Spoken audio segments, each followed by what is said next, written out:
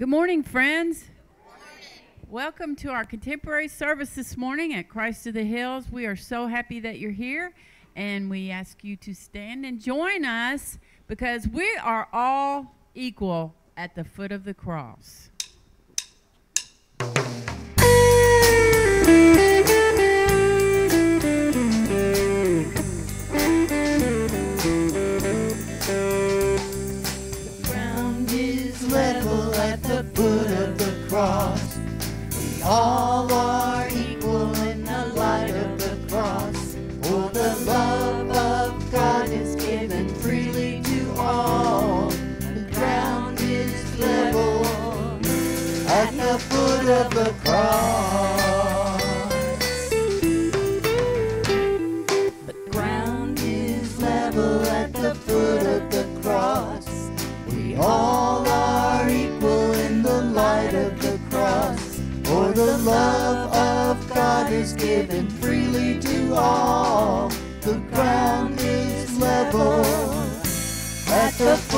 The cross.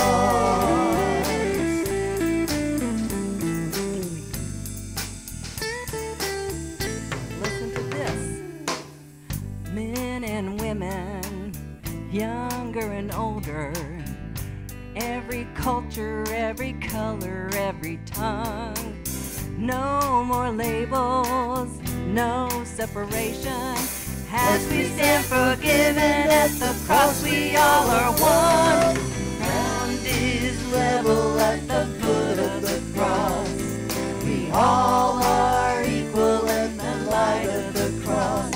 For the love of God is given freely to all. The ground is level at the foot of the cross.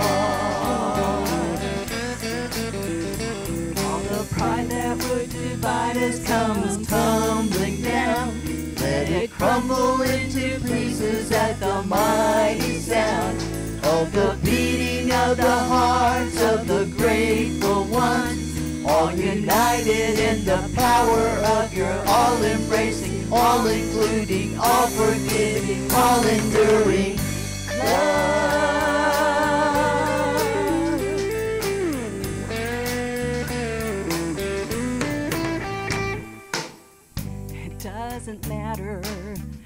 Social position. It doesn't matter if you're rich or poor. Race or privilege, tribe or tradition. At the cross of Christ, we can't divide us anymore.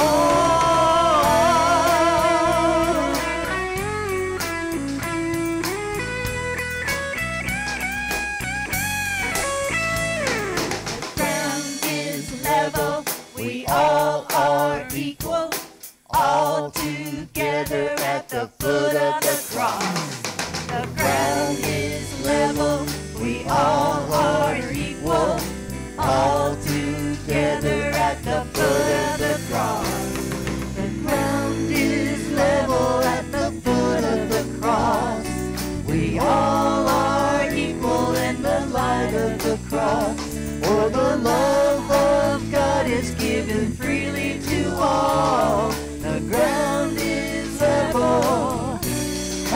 foot of the cross.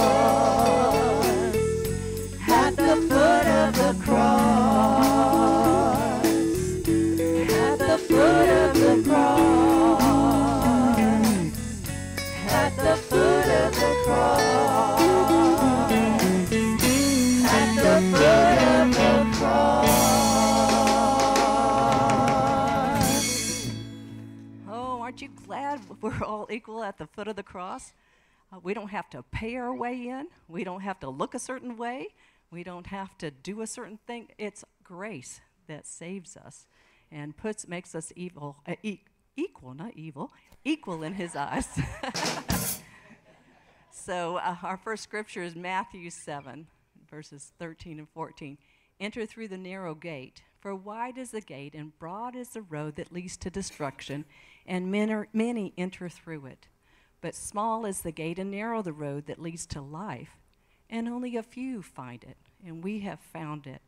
let's uh, sing about that when we talk about that was then, this is now. There should be some changes in our lives that Christ has made evident, that we put away the past things and we strive towards his calling in our lives.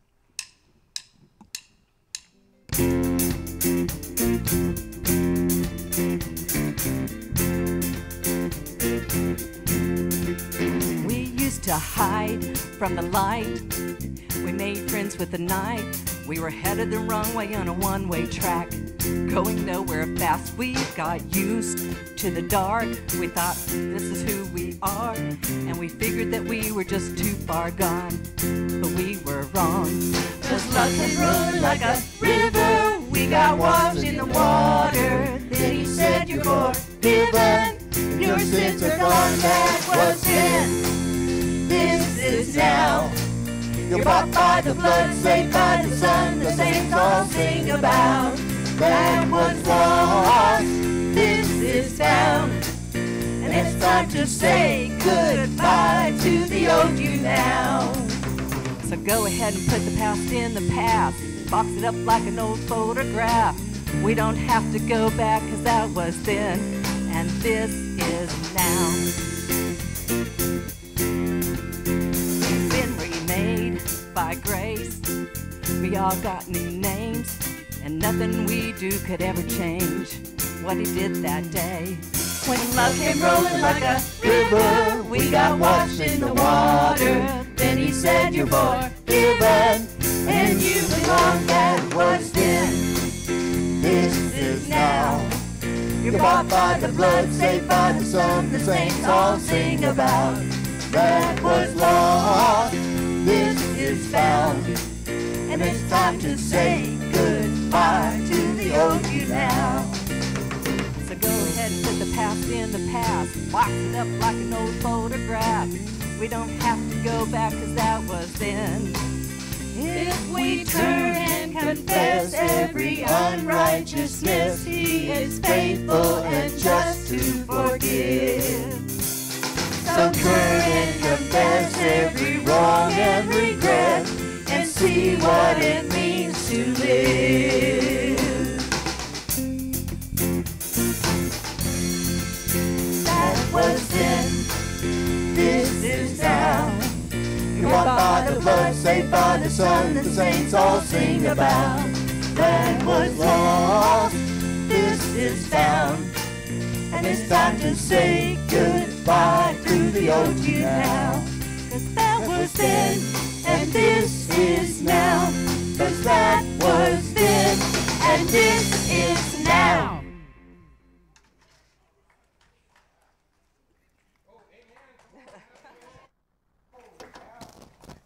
May be seated. Yes. That what? What? No, no, no. Don't just. He's got him here now. Don't let him go. Yeah. They were easy to count now. I mean, that was that was good. So, holy cow, that's all right. All right. So glad that you are here with us. I am Pastor Stephen Fries. Welcome to the gathering. This is the well that is behind me. Uh, we're so glad that you are here, and for all those who in the very back row are worshiping with us as well. Now, a lot of different things that are happening. Um, on October the 4th and 5th, we are going to have our 24 hour prayer vigil. All right? One of the things that I am going to need is I'm going to need um, five individuals to meet with me and let's talk because my decorator is now somewhere in Europe. Okay? And, and so what I no honestly what I'd like to do I have some ideas um, and I know I've got some help from uh, from I got one person I know is going to help as well.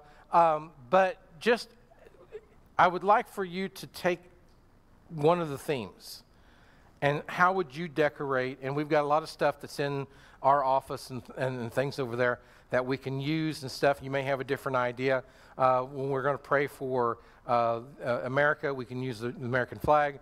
We're going to pray for ourselves over here we can use mirrors uh, i mean all different kinds of opportunities and, and different ways so if that very last week um, because that last sunday of the month everybody here is going to help take chairs and stack them up and move them to the back. because this whole area will be a giant prayer vigil. Um, and so, but that'll be the very last week. But I am going to need some help. If, if you'd like to volunteer to, to um, help decorate, and I, I can give you a theme, but I, I just need to know some, some help on that. But please sign up. If you haven't signed up yet, there are still great hours that are left. Um, and and don't, don't make the mistake, okay? You can pray for an hour. You really can. And in fact, there's most people that come out of there going, I had to take longer because I wasn't finished. Yeah, and so um, it's, it's very good. Now, on September the 22nd, okay, September the 22nd, our church is going to put on a, a membership drive. This is where, where so many people are going to join the church. We've got uh, 11 people so far that have said yes. If you are not a member of the church, you've been here a while and would love to be a member of the church, I've got some forms here. I'd love for you to fill one out. And on, on September 22nd, we're to come.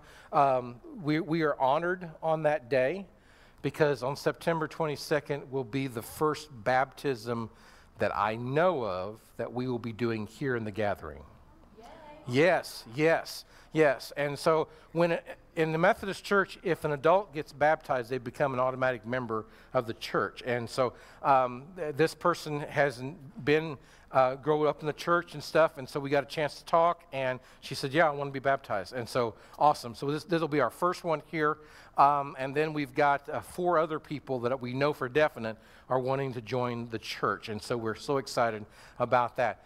If you are one of them that would, you know, would love, I, have I've, got, I've got these here. Love for you to pick one up, fill it out, okay?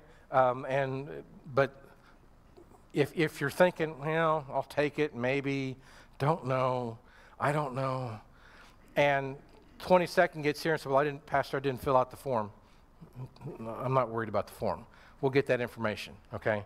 All right? Uh, I, want to, I want to bring you in as a member of the church because you are so gifted people, uh, all y'all. So we'd love to have you, okay? The, um, there was, oh, um, midweek manna. That was the other one I wanted to talk about we started this last week. We, I didn't get a chance, I, I forgot all about of announcing it. Uh, Reverend Sheila Jones is the one that leads the mid, midweek manna. And so um, she does a great job. So every Wednesday at 5 o'clock, it's a half hour service. They do communion, uh, they do singing, and we'd love for you to be a part of that. She'd love for you to attend. It's right there in the middle of the week. Um, many people have asked about the United Methodist men's golf outing. Uh, what I do know is that we have 128 people who are going to be golfing. I do not know what's going to happen with the rain. Okay? I have been asked to pray and make sure it doesn't. I do not have that power. Okay? I do not have that power. Um, but I can, I can always ask for everybody, and we, we, but brothers and sisters, we need the rain really bad. We really do. But just not Monday. Yeah, yeah, yeah. I, I, I, I did that one time. Um, uh, a pastor friend or a, a, member of the church asked me, um, not this church, another church, and said, Pastor, we need rain. We need rain. I said, okay, I'll pray for rain. That afternoon, it started raining. Friday, it quit. We got eight inches. And so they came back and said, Pastor, have you ever heard of a man by the name of Noah? And I'm going, No, you weren't specific about this. So when I moved to another church, he goes, Pastor, we, uh, big farmers, we need rain. And I told him that story. He said, Oh, okay. An inch and three quarters over 11 hours of time. I said, I'll do what I can. I just don't, you know, bless your hearts. It's so great. All right. But we're, we're going to do that. So thank you so much uh, for being part of worship. Do you have a celebration that you would like to share? Yes. So glad to be home. yeah, we are too. We are so glad to be home. Yes, yes, yes, yes. Um, we had a great visit at the doctor this week, and Ed is scheduled in October for the final skin graft. Or the final skin graft in October. All right. Yes, yes. All right. Praise be to God. Yes.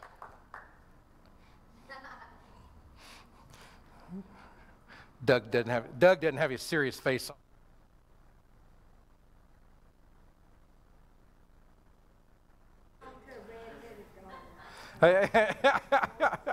yeah, yeah, yeah. We all do changes and stuff. So, so Olivia's got some red hair now, but that's okay. That's all right. It's awesome.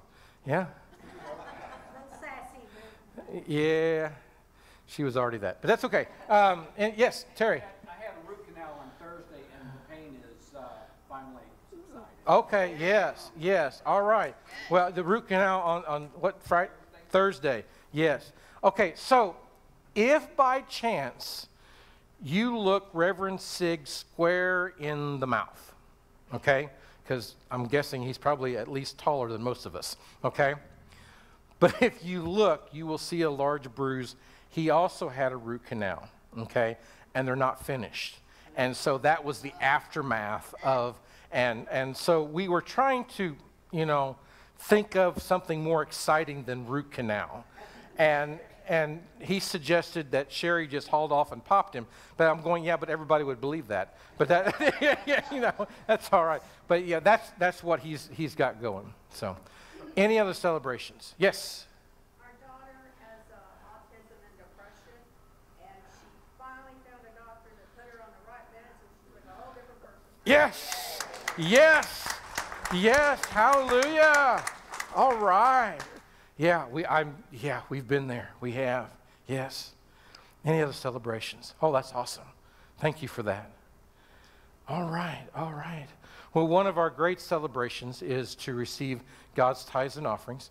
Um, I'm hoping that you you pr- printed out or wrote out on the uh, connection pads there. Drop them in, but let us receive that now.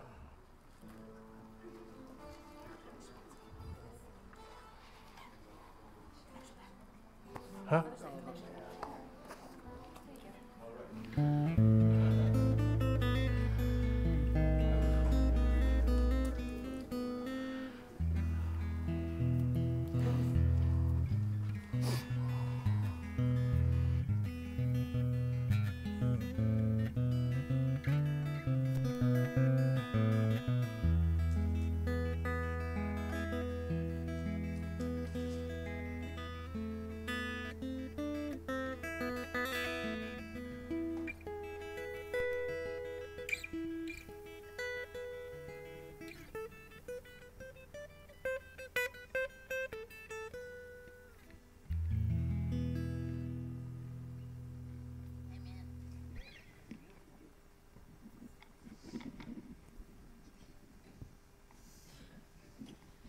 Our next scripture is from Revelation 5, verse 12. In a loud voice, they were saying, Worthy is the Lamb who is slain to receive power and wealth and wisdom and strength and honor and glory and praise. Worthy is our God.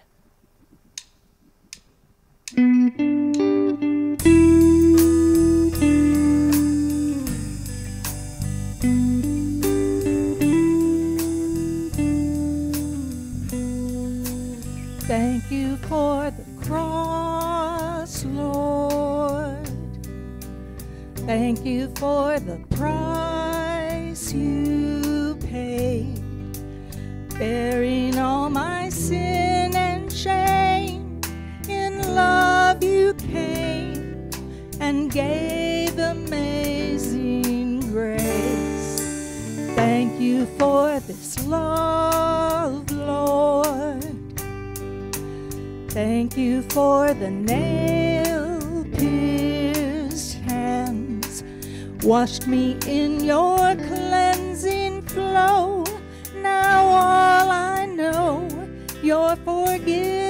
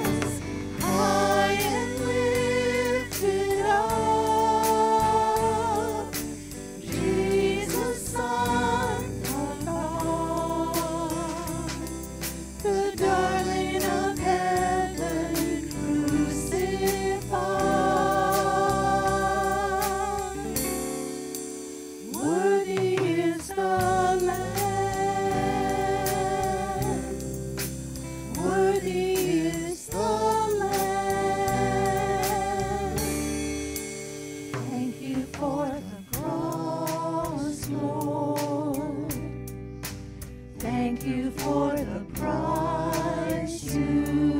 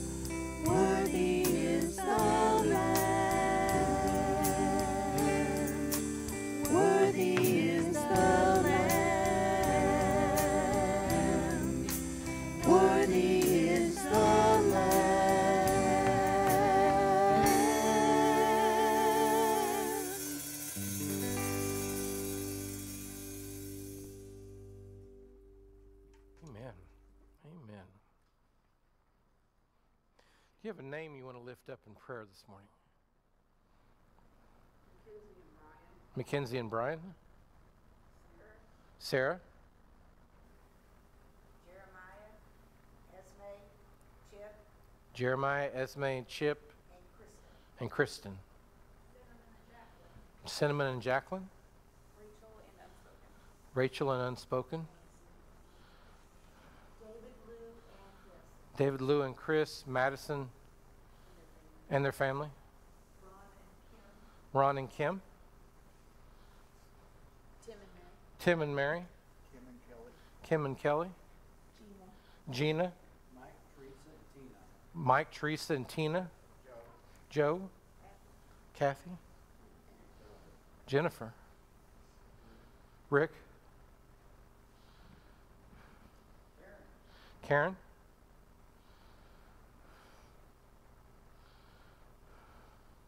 We have some friends coming in from out of state, Traveling Mercies? Ford and Laura.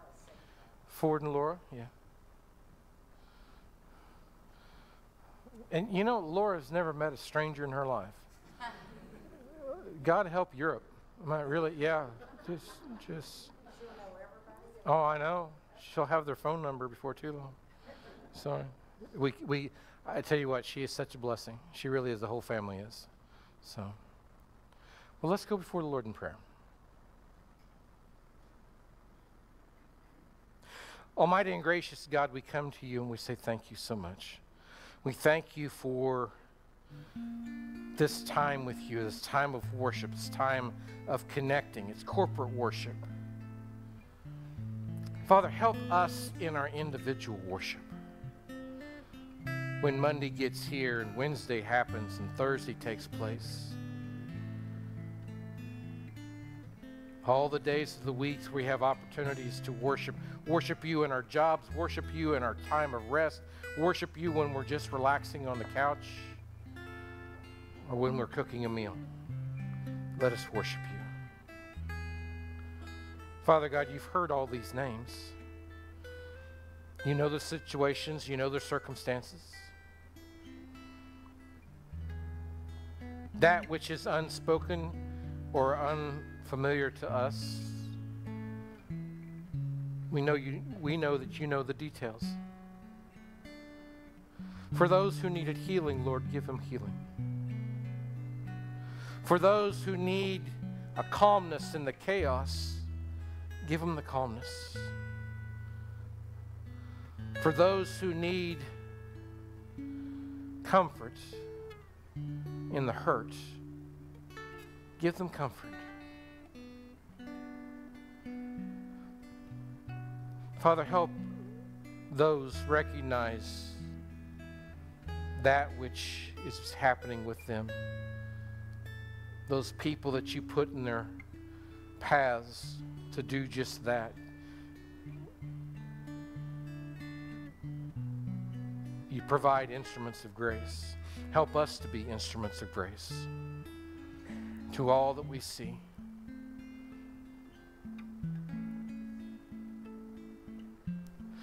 Father, I lift up this church. And Father, we do lift up tomorrow. Now, if it be our will, we would have the sun shining. It'd be about 70 degrees out. And yes, there's going to be 119, maybe 120 golfers, maybe even more than that, that when their first tee shot hits, that it goes in the middle of the fairway. Further than the other tee box. We all know that. But Father, it's not our will, it's your will be done. Whatever transpires, however it all comes about, Father God, may you be praised. You be glorified. Lord God, we ask all these things in your holy and precious name. And as you have taught us to pray, let us sing about that now in your holy word.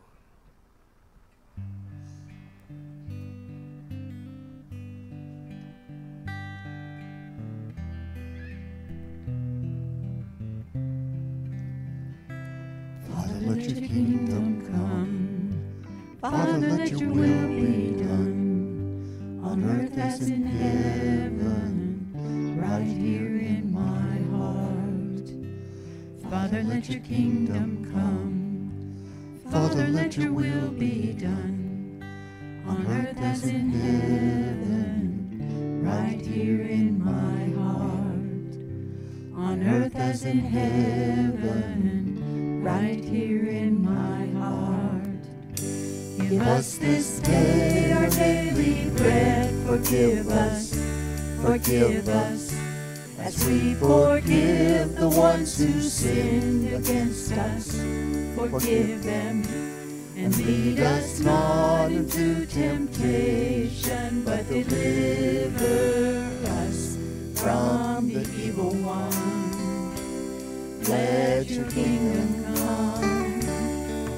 It's yours, it's yours, all yours, all yours. The kingdom, the power,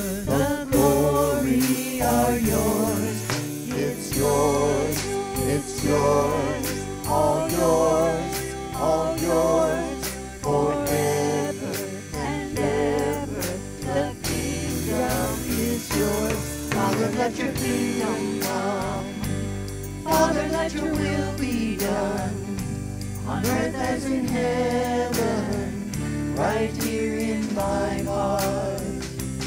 Father, let your kingdom come. Father, let your will be done on earth as in heaven, right here in my heart. On earth as in heaven, right here in my heart. As in heaven, right here in my heart.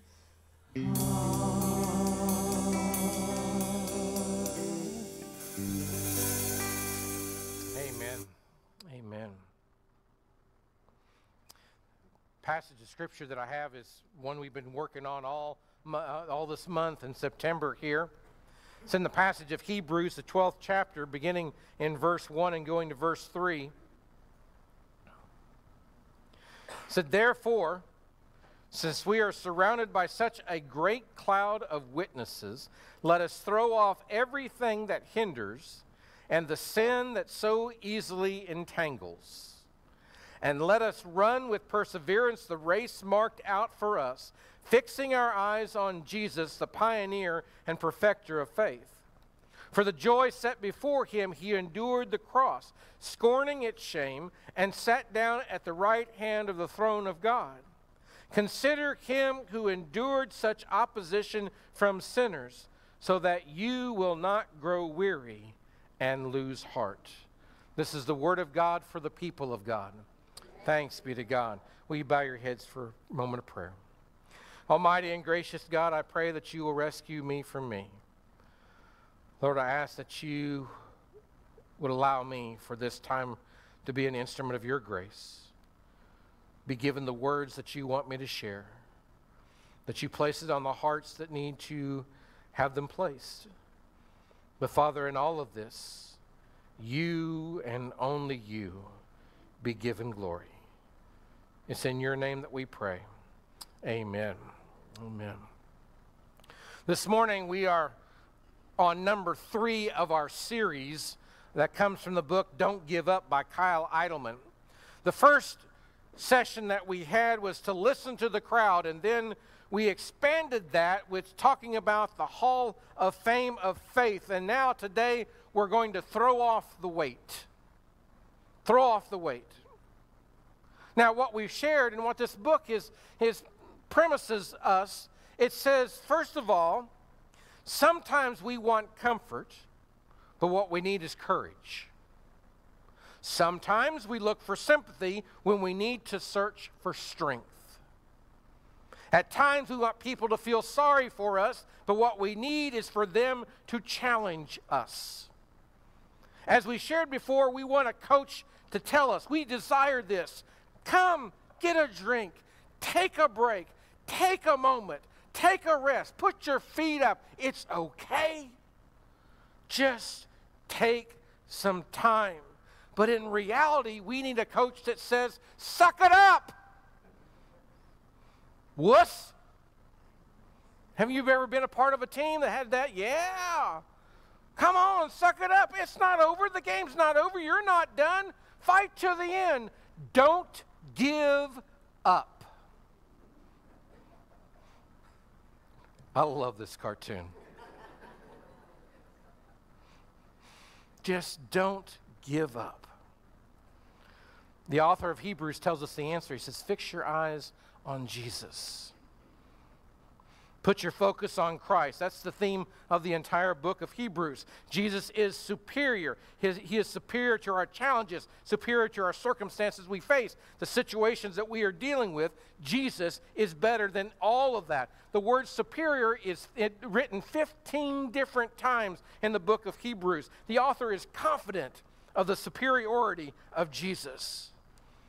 And this gives us courage, this gives us strength. Jesus is that strength.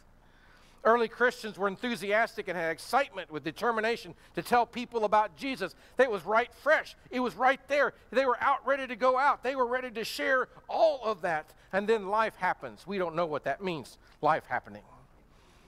Persecutions, oppositions, cultural ridicule of their faith in Jesus. They grew tired and it made it hard for them to keep going. Does that sound familiar? The author is filling them and us with courage, saying, Jesus is worth it because Jesus is better.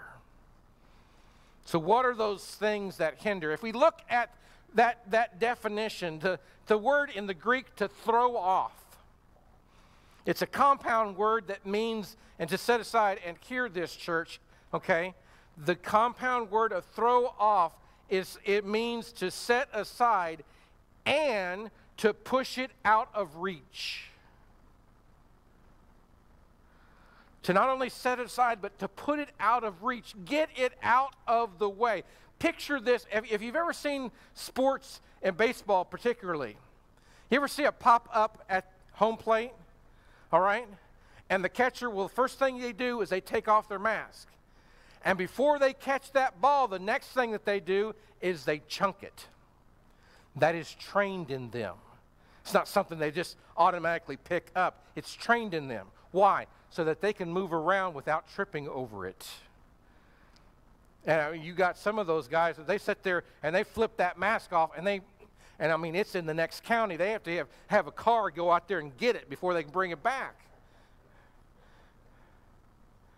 Oh, church, if we would take those items that we need to throw off and not just push it out of the way, but push it before, beyond our reach. And then whatever slows us out down, we are to get rid of. The word hinders means any kind of weight. If we are in a race that is long and difficult, any weight, even small weight, can be managed for a little while, but then no matter the determination, the weight will slow you down. You can do this as an example. Take a book, take your favorite book, take a small book, take a devotional book, stick it out here and just hold it. After a while, no matter how long you it starts to be heavy. So, whatever weight that is. Now, there are three common weights that slow us down. Number one is the anxiety and the pressure of life. We call it stress. We call it stress. You ever been stressed? Are you living in stress?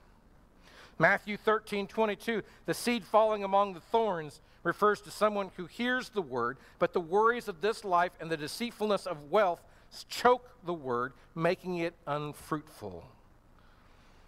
The pressures of life choke out the work of faith. It's like running a race with a bad case of asthma. You want to, you are determined to, but when you run, you can barely breathe. What are examples? Trying to make ends meet with a limited amount of income. Your mind is on a biopsy where the test results are not in yet. You're thinking of a child or grandchild that you're watching self destruct.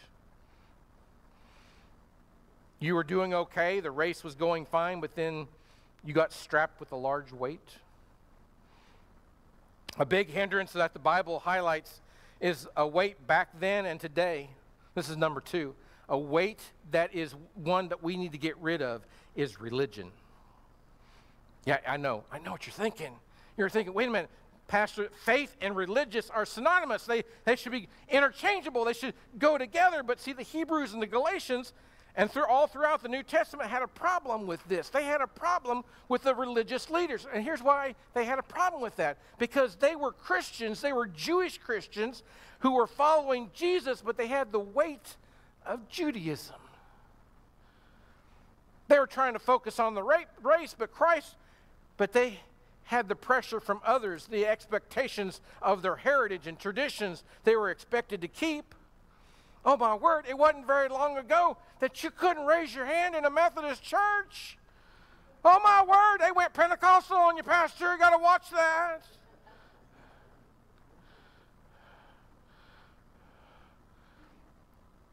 And I got to be very honest with you. There's some folks in the traditional service would have a trouble with that.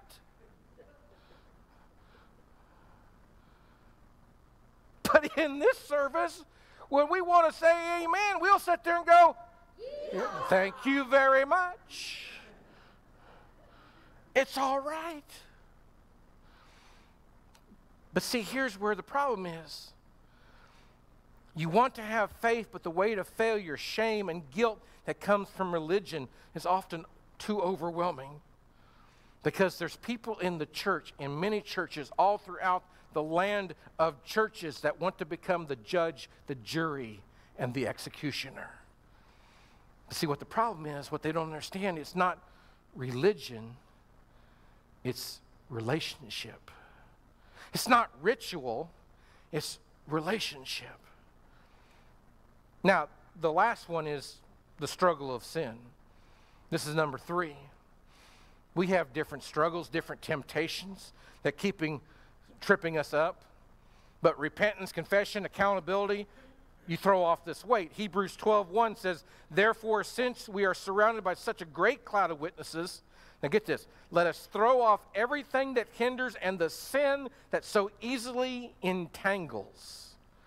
And let us run with perseverance the race marked out for us." In verse 4, it says, In your struggle against sin, you have not yet resisted to the point of shedding your blood. The Hebrew writer telling us that we are not bleeding yet, so get back in the game. Sin will build a wall between us and God. And here's the kicker with sin, we will say it's God's fault for building the wall when it was us. And it discourages us not to want to do anything that sep- thus separates us from God. In verse 1, the author writes the sin that so easily entangles, and that is the sin of unbelief. Now, I know, God, you did this and you did. That's why I have a problem with Moses and the Exodus. What's it going to take to get you through your head that he parted the Red Sea, got you boogity, boogity, boogity, went over to the other side? He did this, he did this, he did this, he did this. And then I'm sitting there going, Steve, you're talking about yourself. When you're not going to get it, he got you through this, he got you through this. My word, Pastor, he got you through Greek class because you have trouble with English. He got you through all of these things. Why are you doubting? And see, we could put our own scenarios in that, couldn't we? Yeah. Because in seminary, you have this greenhorn understanding. Oh, that first baby I get to baptize is going to be a blonde haired, blue eyed little girl. Mm-hmm. That first wedding is going to be this in the church wedding, decorated from here. Doves are going to fly out of the sanctuary. It's going to be perfect. And your first funeral was going to be a patriarch or a matriarch of the church. And it was going to be a homecoming. He gave me the baptism. She was the prettiest blue eyed, blonde haired girl I've ever seen. My first wedding was an outdoor wedding where the best man handed a spider ring and liked to freak the bride out half to death. And my first funeral was a 20 year old suicide victim.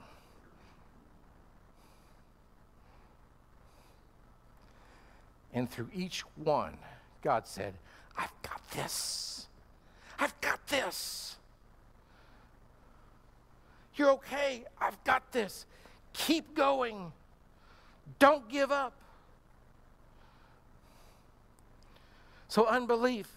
With unbelief, life pressures and stress becomes more overwhelming. Uncertainties of future don't know what is going to happen next. Hebrews 11:1. 1, now faith is confidence in what we hope for and assurance about what we do not see. And with this pressure this, and stress can be set aside and we can keep moving forward to continue the running of the race. How about Moses' mother? Oh man, Pharaoh was killing the Hebrew children. So she puts Moses in this basket, sets it on the Nile River, takes, lets it take off. And I love Prince of Egypt, although it's a cartoon, because uh, it gave this kind of an understanding. You know, in our mind, we think, oh, ooh, ooh, it's going to be fine, you know. But there's crocodiles in the Nile. There's all these other animals in the Nile. And it had to be great anxiety for her, but she believed in God. She had faith. She ran the race before her. Now, one of the best ways I can, I can share about faith. Okay? And I did this one of the first, we had a children's lesson I wanted to share with them was about faith. Okay? So I'm not, I'm not, I'm not going to ask her to come up, okay? Because I would just freak her out, all right? But Amelia and, and Philip, all right? Okay, so no, I was. You thought it was point, man? She's squirming, and she she was moving, and like you ain't pointing at me. I'm not doing this. But I had a, I had a child about her her size, okay, and so what I did was I I sit there and I put her on on the pew, we had pews in that church, and I said, please do not move. I'm like, lawsuit. Please do not move, all right? I had her turn around and face the congregation. And her dad was tall, like you, you know, muscular, all right? Ripped abs the whole nine yards, just like you, okay? All right? And I said, I'm going to put him behind you. I said, Would you have a problem with falling backwards? I don't want you to do it, but if you fell backwards, how many people in this church would believe that he was going to catch her? And they all raised their hand. And I said, Yes, that would be great if we got that kind of faith situation. But we don't. And I took the little girl and I said, Here, stand back here. Put your arms out. Close your eyes. Then I looked at the dad and I was like, get on the chair. and he went, mm. I said, that's the faith situation that we get, isn't it? Because we're sitting there going, there's no way. That's called unbelief. That's called unbelief. That's the best way I can share faith. Jesus is better than whatever it is that you are going through, that which stresses you out. The unre- unreasonable boss, the critical spouse, the unruly kids, stresses of life. Jesus is better. Have faith. Don't give up. In the last part of Matthew 11, 28 through 29, this is a paraphrase that says, Are you tired and worn out? Are you burned out on religion? Come to me. Get away with me. You'll recover your life. I'll show you how to take a real rest. Walk with me. Watch how I do it. Learn the unforced rhythms of grace. I won't put any heavy weight on you. Keep company with me, and you'll learn to live freely and lightly. See, Jesus is the best. Keep focus on Him and lose the weight that is hindering you. Hebrews 10 22 says, Let us draw near to God with a sincere heart and with the full assurance that faith brings, having our hearts sprinkled to cleanse us from a guilty conscience, and having our bodies washed with pure water. Question is, do you believe this? Answer is, if you don't, you walked in here with the same weight that you had on that you're going to walk out with. Jesus is better than any of your burdens, better than your shame or guilt. It is a question of faith. Do you believe? And see, the thing is, we have this thing, Pastor, I don't want to do this because I'm not worthy. That's why you're in church. None of us is worthy. None of us has earned it. None of us could buy it. You could be on any committee of the church, you could be on all the committees of the church. That doesn't make you worthy. That we call the grace of God. You can't buy it, you receive it. So, but if you do believe, if it is a yes, then fix your eyes on Jesus and don't give up. Will you bow your heads to me?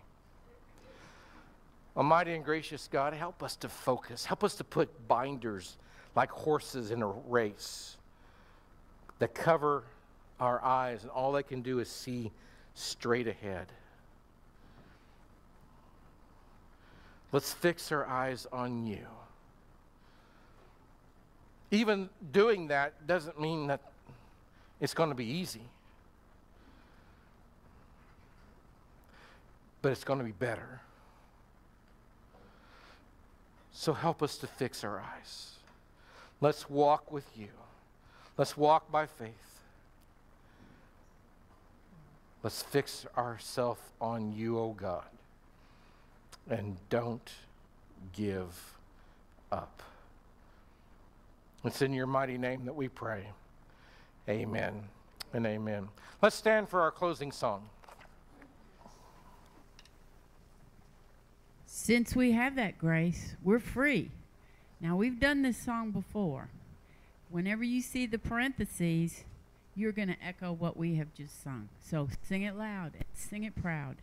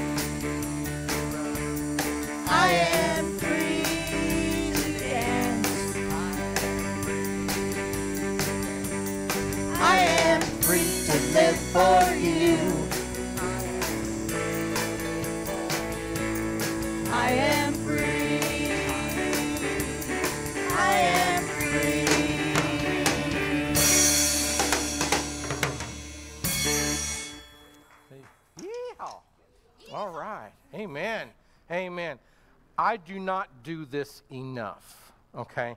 I want to thank the well. Their multiple talent of singing, playing, playing. eh, eh.